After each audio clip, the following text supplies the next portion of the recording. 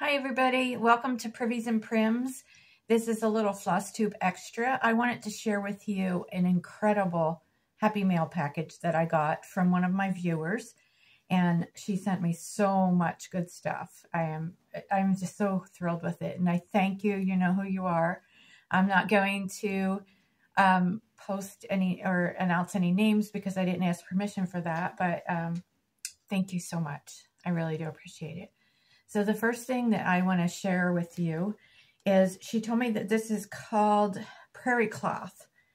And I got a pretty good sized piece of it, but I've cut it into um, some more manageable pieces. I cut it into three pieces. So this is walnut stained. And I've never seen this actually before. I'll show it close up. Um, hopefully it's not blurry. But you can cross stitch on it and it's I'm going to use it to do this pattern because it's a bag. So um, by Not Forgotten Farm. And this fabric is heavier than um, like the Osnaburg that I've been stitching on. And I love the color with the walnut stain. So I thought that it would be perfect for this. And I'm going to actually use this. Uh, it says that it's for your spools of thread, but I'm actually going to use it as a little project bag because this is what I normally use, just a plastic bag. Um, I normally do small projects, so that kind of works. And I just stick the threads in there. And then I would fold the fabric and put it inside here. So um, I'm going to make this and actually this one is the size that I've cut. And I will um, use that for my little bag. So hopefully that comes out good. And I'm actually going to start that today so I will show you my progress on that and my floss tube on Sunday. Um, she also sent me, now some of this will be giveaways and some of it, a lot of it I will keep. This is a piece of Aida. It might be maybe about a 16 count. I love the color of it, but I don't really like stitching on Aida. So this is going to be in a giveaway in the future. Um, this one also, she sent me a bunch of fabric. And this is like a vintage 30s. It says on it, um, it says 30s collection. And then it's a name that might be French. I'm not sure. It's, I can't, I can't read it. Um, but this will be also in a future giveaway. It's, that's folded in half, so it's twice that size. Very vintagey looking. I like dark prim colors, so this one will be shared with someone else. Um, I'm going to show you these fabrics. Oh my gosh. Uh, I will actually, there's so much here, I'll break it up and show you some fabrics and then show you some other stuff. So she sent me these to use as backings for little pillows and things. Um, on my screen, it's looking kind of red, but it's really like a rusty brown. So these are, oh, beautiful prim fabrics that are going to make perfect backings for little pin keeps and pillows and things and uh, stand-ups even, anything that I make. Look at that one. It's kind of like, um, maybe that's a Civil War. That's a pretty, pretty good size piece. Love that. Blue being my favorite color. I think I had some of this before. Again, on my screen, it's looking red. Sometimes on my screen, it looks a different color than what it looks like when I play back the video. This is a brown. This one is really pretty, like a cottagey rose. That's folded in half. So it's double that. Now, some of them are small pieces, which is fine because that is enough for a pin keep. And see, there's two of these brown. Here's a green. And there's two, four, five pieces of this. And then I'll break and show you a pattern, my favorite pattern of all the ones that were sent. It's a Stacy Nash. I love Stacy Nash. You can get it there without the glare on it. I love that. I definitely will be making that. It's called Pine Tree Farm Pin Keeps.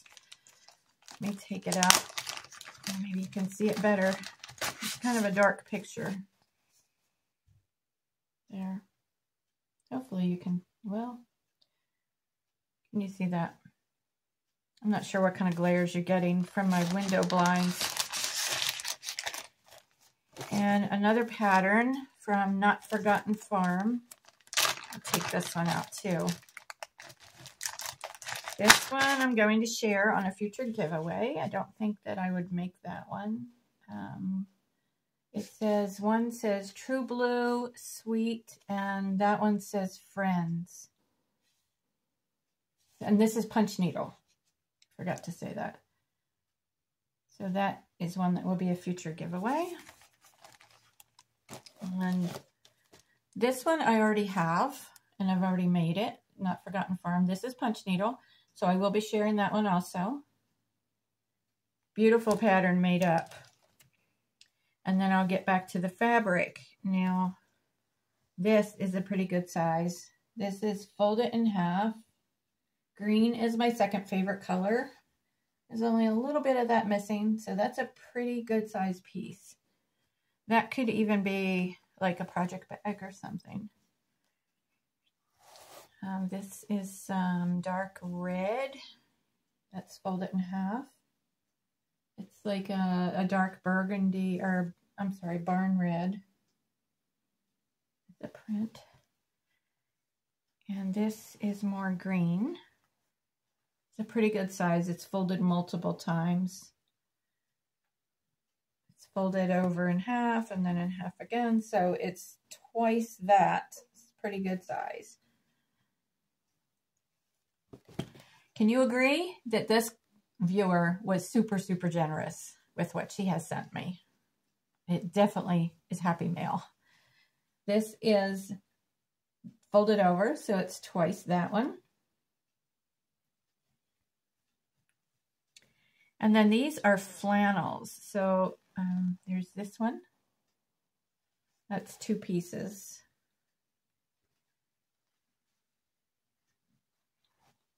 Love this one. These are nice soft flannels, good for backings. There's two pieces of that. Two pieces of this one. Now, some of these are going to be really great for fall. Two pieces of that. If I was making a quilt, my gosh, I'd have all these. This is the pile that I haven't even went through yet. If I was making a quilt, there'd be a lot already cut. I'll show you some of the other stuff now. This is a piece of Zweigart 32 count Belfast linen that I will be dyeing to change the color. And 32 count is what I like. And some of these little patterns, these will be giveaways. These is Bent Creek, a pattern for fall.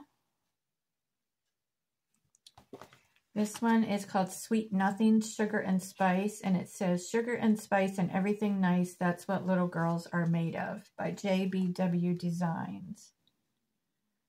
There.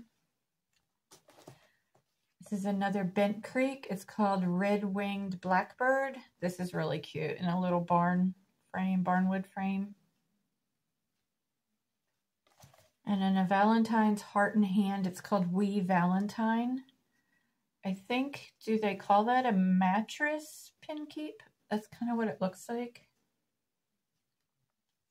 Um, 71 by 71.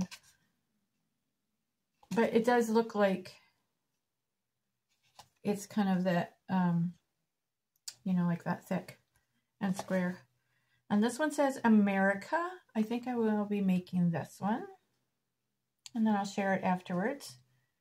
And that is Twisted Threads, Itty Bitty America. So I'll go back to the fabrics. These are still flannels. There's two pieces of each of these. And that's how big they are, all the ones that I'm showing you here now. And how gorgeous is this? Look at that. It's flannel. Beautiful. Two pieces of that. I'm going to be busy if I try to use up all this fabric. It's going to last me a long time. This one will be great for fall, for the back of things with pumpkins. This one is actually, it has like little clovers on it. It's red and green. That could be used for multiple things too. This one, think it's, um, actually I have my light off because even though it looks really light on me, if I turn my light on, it puts like a glare, really bright glare on my head. So I think this is kind of a rusty orange. But the colors, are, I, I'm not looking in good light myself. This is perfect for fall. This is an orangey color. This one is a really dark red. And this one, definitely for fall. Or maybe even Christmas, because it's like pine needles. This one is like, it's either black or navy blue with little flowers on it. Good friend to have here, huh? Yeah, sends good stuff. And wait till you see what she sent at the end that I just found last night. This is a blue. Two pieces of each of these. I'm not sure what she cut them for, what she was originally going to make. This is good for fall. I'll have to ask her what she was going to make with these. Because they're all cut the same size, like she was going to do a quilt. I think this is like a dark green and a black.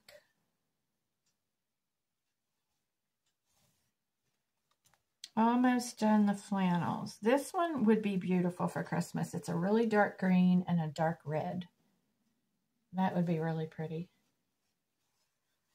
And then this is I think it's the same. I think it's the same print, different color. Same design, different colors. And two more of the flannels. Again, perfect for fall. I am set for fall backgrounds. And one more. This looks like a dark green and black and brown. Also good for fall. So those are the backing fabrics that she sent me. And then she sent me a Pineberry Lane pattern. Let me get this out of the sleeve. I will definitely be making this one. So cute. I love that. And table's getting full here. This is a punch needle kit for a little sheep. This will be a future giveaway. And it has, I was looking at it yesterday. It has your weaver's cloth. You would probably, on this one, for punch needle, you're going to have to add fabric to the outside to get it on a hoop, unless you have a really small hoop for that. A little small Morgan hoop. Um, this is a backing fabric and a little pin because it is a pin and the floss here. So that is a whole little kit. And I'll just flash it real quick, but that's how little it is. Looks like it's maybe a little over an inch square. So I think I will, an inch and a half square. I will double check on that when I do the giveaway, but uh, I think everything is in there. That's from 2005, Karen Amadio Gates Folk Art Designs. Another pattern is small sampler number one from You and You, You and I, and it's E-W-E and I, E-W-E-Y-E, and Friends, a new twist to Twisted Threads. And it's from twistedthreads.com. Hopefully you can, yeah, you think you can see that. Maybe? Is it too close? So I haven't opened that yet. Um, but it, it, has a crow and looks like a strawberry and some vines and a heart. And this one is Heartstrings Samplery. I'll take this out just because there's a, I know there's a glare. This is really cute. Patriotic Americana ones. Do that on some coffee stain, then it totally changes that look. So I probably may make a few of those and then I will share that as a giveaway. This is another punch needle kit from the same person, Karen Amadio Gates. Folk art design. Let's see. Yeah, again, let's see, the, the backing fabric, the pin is here. The pattern and the floss. So you see how small that is. And this is that pattern. So it is a one and a half inch square. That will be a future giveaway for Punch Needle. And this one is Homespun Sampler Teach Me to Cross Stitch. And it has a piece of fabric in it. And the cover part, it just says Bless Our Home. So it doesn't have a finished um, picture. Copyright 1999 Homespun Sampler. And it might there might be floss in there. Yes, there is some floss in here. Probably enough because there's not much to that one. Again, I'll just flash it quick like that. And, oh my gosh, a Brenda Gervais pattern. How generous is this woman? Everybody loves Brenda Gervais. This is a hanging ditty pocket, which I will definitely make. 8 by 9 hanging ditty pocket. Is that not adorable? With the little buttons at the bottom. I'll definitely be making that, and I know just where I want to put it. I love that one. And last but not least, a huge piece this is fold it and fold it and fold it. Yardage of weaver's cloth for a punch needle. This is going to last a long time. I will share some of it with you for those that do punch needle. I will do some giveaways. Um, I know you guys may be feeling left out because I've just been doing so much cross stitch. And honestly, I don't have, I've went through my punch needle patterns and there's nothing that really strikes me in the mood right now to punch. I'm still, um, haven't got the threads yet to finish those firecrackers, so I haven't finished those. But um, I'm just, my heart right now is in cross stitch. And almost did a Teresa Kogut. I was going to do this for spring. Um, and that's out of Punch Needle Primitive Stitcher Magazine 2019 spring issue. I was going to do that. And then this morning I got up and I looked at it again. I was like, I just really am not in the mood to do punch needle. So I'm going to stick with the bag that I showed you first that I'm going to do on the prairie cloth. And uh, because I need something for when I go around, you know, when I go somewhere to a stitching group or something. This is what I've been using. And I got this, um, this is from Primitives by Kathy. But it's just a small bag and that's what it says. And I really love it. And it's nice little bag. You just put your stuff in there and carry it around and it works. This, okay, just put back in there because I want to take it somewhere with me. My son went to Taiwan last month with his girlfriend who is from Taiwan. And they brought me back these candies and I'm sharing them when I go to like a stitch along or, you know, my rug hooking group or something. I take them there they're strawberry flavored, but they're like a really um, thick, hard taffy. So they're kind of hard to eat with our old teeth that aren't all ours, you know, if you know what I mean. So um, it will pull your teeth out. So I've been sharing them so that um, I'm not eating them all. Love the color of the box. It's my color. You can see the back is a, a different language. But they brought me back that as a souvenir, and I leave it in this bag because then when I go somewhere, I have it with me to share. So that is all for this video. I will be putting out a floss tube on Sunday, and I'll update you. I've got some finishes. I'm going to be working on this little bag, and there's something else that I'm going to try to make. Um, I'll be gone most of the day tomorrow, so I'm not sure if I will get it done in time for Sunday's video, maybe in the one after that. Um, but that's it. Um, Thank you again to my generous, generous friend who shared all these wonderful things with me.